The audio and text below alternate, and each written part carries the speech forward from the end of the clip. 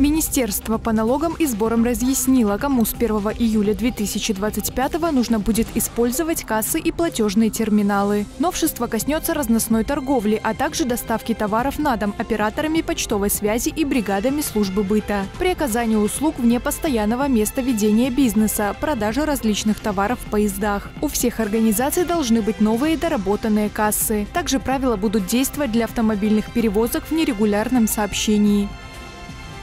Выплата материальной помощи ветеранам Великой Отечественной будет проходить с 25 апреля по 4 мая. В этом году размеры существенно выше, чем в прошлом. В отношении участников инвалидов предусмотрены перечисления в размере 4 тысяч рублей, иные категории – 2. В целом из республиканского бюджета будет выделено порядка 10,5 миллионов.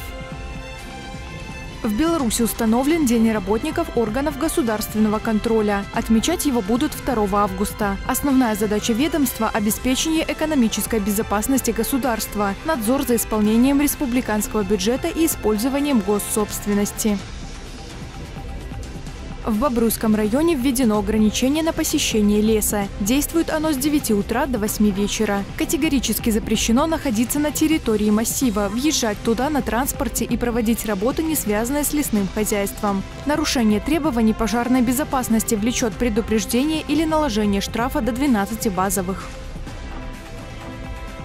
13 апреля с 9 до 12 часов Бобруйский горисполком и районные администрации проведут прямые телефонные линии. На повестке дня обсуждение жилищно-коммунального и дорожного хозяйства, содержания и уборки территорий. Также разговор коснется вопросов контроля за исполнением документов и работы с обращением граждан и юридических лиц.